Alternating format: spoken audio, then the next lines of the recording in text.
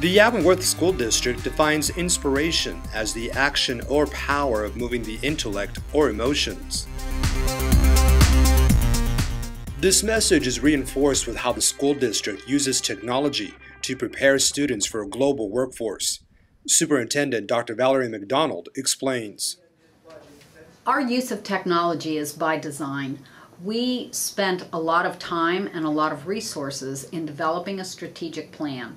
In this plan, we talk about the use of technologies, about modernizing our technologies so that our students have access to the best and cutting edge technologies. Avonworth is a small district in the Pittsburgh Northern region with more than 1,400 students. The high school has a 99% graduation rate, and the district is considered a top tier facility for scoring way above the state testing requirements. The key to success is simple educators think out of the box. In fact, the box was thrown out and replaced with savvy thinking and technologically based curriculum. Because we've placed such an emphasis on this, we believe that the whole focus should be that, that technology can be used as a tool to access information and to be able to analyze that information appropriately and make informed decisions so that we can continue to produce students that can compete globally. Let's talk about explaining your answer. At the elementary school, instructors developed a Math Pen Pal program where entire classrooms participate in video conferences with students from another district. Students also answer open-ended questions, share solutions, and discuss math theory and operations. Well, we had the opportunity to not only respond to our pen pals through letter writing, but also respond through um, seeing our pen pals by using the Polycom.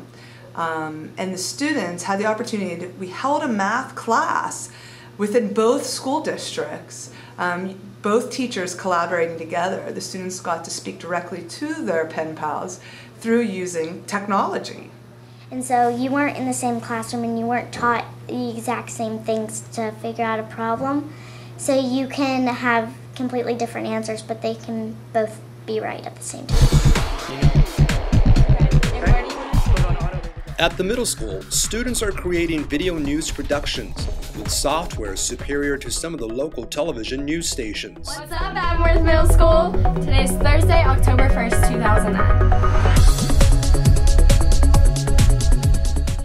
The students produce stylish websites, podcasts, and videos using iMovie and FileMaker Pro. In fact, they produced a school public service announcement to help prevent the spread of the H1N1 virus. They're using the technology to uh, create a story, and the story, whether it's something to do with what they're learning in school or something that they're interested in, um, the story itself, it, it allows students to gain organizational skills, communication skills, collaboration skills when they work within their um, crew. The scenario is is BevCorp doing to is to blame or are they The high school students are making global communications a reality by linking through teleconferences with students from other countries in real-time interactions. The students tackle world problems and simulation. Okay, wait a, okay, wait a second, we're going to discuss here. Through these teleconferences, students are able to communicate with leaders and professionals in their respective fields, gaining a knowledge base that could never be achieved through standard textbook learning, but through technology that is designed to engage and hold their attention. We've been very fortunate to work with the Challenger Center, which is out of uh, Wheeling Jesuit University, uh, to have some real-life simulations that really fit our curriculum.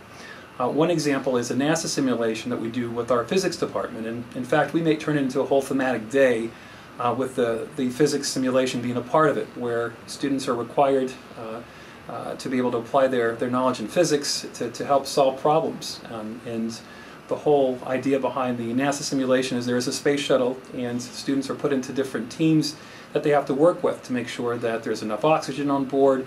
They're looking at a, um, a space storm that they have to be able to, to have data to, to read, to uh, troubleshoot, to make decisions. And there's a, a control person in NASA who is uh, helping to facilitate this uh, with the students. As part of the technology movement in Avonworth, all classrooms are equipped with smartboards, laptops, and computers. Students graduate with an understanding of the Microsoft Office suites, including Excel and PowerPoint, standards in today's workforce. The district also recognizes social networking and communicating, using the online mediums like Facebook, Twitter, and YouTube to communicate with students and parents. And while technology remains an ever evolving tool requiring districts to make financial investments, Avonworth makes every effort to streamline its budget and continue to remain responsible in balancing a global education with taxpayer investment. Well, as in all places, budgets are typically tight. And here at Avonworth, that is pretty much the, the same. So one thing that we try to do is look at the various technologies that we're offering and make informed decisions about which ones are appropriate for our students, which ones will make them competitive, which ones will help in engaging them in learning. Avonworth will continue to define inspiration by using technology to prepare students for today's global economy. Reporting for the Avonworth School District, I'm Sydney Alvarez.